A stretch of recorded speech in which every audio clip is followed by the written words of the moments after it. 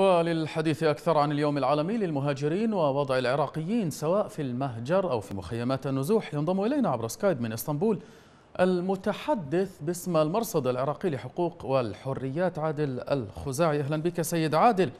يعني يبدو أن الرقم 18 له ذكرى سيئة مع العراقيين ففي اليوم الثامن عشر من كانون الأول والذي يوافق اليوم الدولي للهجرة يوافق هذا العام كذلك مرور 18 عاما على احتلال بغداد. السؤال هنا سيد عادل كيف أثر هذا الحدث على حالة الهجرة واللجوء ومن ثم النزوح في العراق؟ نعم تحية طيبة لكم وللمتابعين الكرام. حقيقة قضية الهجرة من كقضية إنسانية في غاية الخطورة هي أزمة حقيقية. بدأت منذ احتلال العراق وسنوات العنف الطائفي وسياسة الحكومات المتعاقبة آه، ما بعد آه، آه، الاحتلال. حقيقة سياسات ظالمة. القضية مستمرة. قضية الهجرة واللجوء والنزوح مستمرة إلى يومنا هذا. نعم. هناك الملايين من المهاجرين توزعوا في بلدان اللجوء المحيطة في العراق أو في أوروبا وأمريكا. منذ احتلال العراق حقيقة عانى الكثير من العراقيين آه، آه، آه، من سياسات ظالمة طائفية حروب اعتقالات سجون اغتيال كفاءات إلى آخره هذا كله دفع إلى الشباب إلى الهجرة والسفر خارج العراق نعم. حقيقة الكثير من العراقيين أصبح يفكر أن العراق للأسف دولة غير صالحة للعيش نعم. بسبب كل ما ذكرناه. أضف إلى ذلك المهجرين العراقيين داخل العراق هم أصلا في مأساة. بالتالي الهجرة إلى خارج العراق حقيقة أصبحت خيار الكثير للأسف. نعم. في ظل نفس آه، تكرار السياسات في السياسات في الواقع نعم سيد عادل بعد 18 عاما من الاحتلال ومع زعم الولايات المتحدة الأمريكية باستقرار العراق وفرض الديمقراطية. لماذا برأيك تزداد أعداد اللاجئين والمهاجرين العراقيين والتي وصل عدد طلبات اللجوء خلال العام الجاري إلى أربعين ألف طلب عراقي قدمت لمؤسسات أممية ودولية؟ نعم من الواضح أن ترجمة أوضاع ما بعد حقيقة ثورة تشرين المباركة يجسد حالة النفور بين السلطة والشعب. هناك فجوة حقيقية نعم. وعدم ثقة حقيقة بين الحكومة وهناك آه، أضف إلى ذلك الكثير الكثير من النشطاء وأصحاب الرأي الحر تعرضوا إلى تهديدات بالقتل والاعتقال أو التصفية آه، آه، في الناصرية في في النجف في البصرة في بغداد حقيقة هناك تهديد واضح مما دفع بهؤلاء الشباب إلى الهجرة إلى الخارج. نعم. اذا آه، يعني إذ لا يطبق حقيقة القانون في العراق إلا على الضعفاء.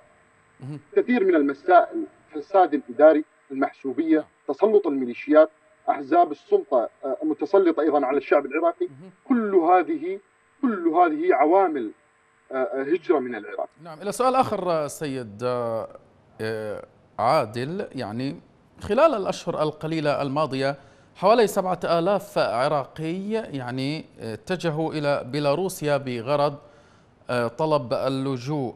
يعني السؤال هنا لماذا يصر اللاجئون العراقيون على التدفق باتجاه بيلاروسيا رغم علمهم أن رحلتهم محفوفة بالكثير من المخاطر؟ الحقيقة الهجرة من بيلاروسيا هي طرق جديدة بعد انقطاع سبل آه، آه، طرق تركيا اليونان. آه، توجه الكثير من المهاجرين إلى بيلاروسيا لسهولة الدخول إلى هذا البلد وأيضا قربه الجغرافي من أوروبا كطريق نعم. جديد للهجرة يعني صار؟ آه، آه، الكثير من العراقيين أكثر الآن بين الحدود البيلاروسية البولنديه حقيقه هناك الكثير من العراقيين أكثر من 4000 إلى 5000 لا زالوا عالقين بين هذه الحدود.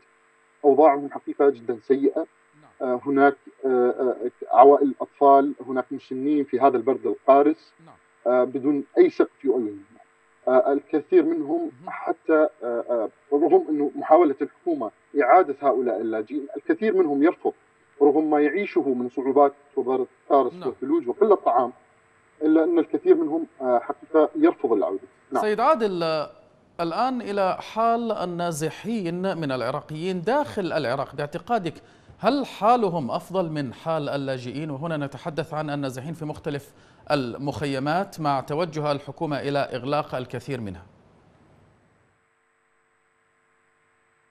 نعم حقيقة أزمة النازحين والمهجرين قسرا هي أزمة إنسانية أخرى. النازحون هم أيضا في واقع قاسي وغير إنساني. إهمال حكومي ضعف أداء الحكومة. غياب للخطط عدم الجدية لإرجاع هؤلاء النازحين إلى ديارهم. بيع وشراء والتجارة بمعاناتهم حقيقة. استغلال وجودهم كنازحين للفساد الإداري. حقيقة تشابه الأوضاع بين النازح والمهاجر آه، آه، آه، كلاهما نزح نتيجة سياسة واحدة منذ 18 عام. العراقيون حقيقة يعانون في النزوح وفي اللجوء وفي النفي إلى الخارج العراقيون حقيقة هم جميعهم متضررون من هذه السياسات هذه المآسي جميعا توزعت على العراقيين حقيقة أزمتي اللجوء والهجرة اللجوء والهجرة نعم. والنزوح هذين ملفين ثقيلين يعني آه، تتحملهما حقيقة قوات الاحتلال الأمريكي التي جاءت بهذه نعم. المسبب الأول وتوابعه من حكومة الاحتلال وأحزاب السلطة وميليشياتهم والحكومة العراقية. حقيقة كلهم هؤلاء يتحملون آه، آه، المسؤولية الكاملة لما يحدث في العراق الآن. من إسطنبول كنت معنا عبر سكايب المتحدث باسم المرصد العراقي للحقوق والحريات عادل الخزاعي. شكرا جزيلا لك.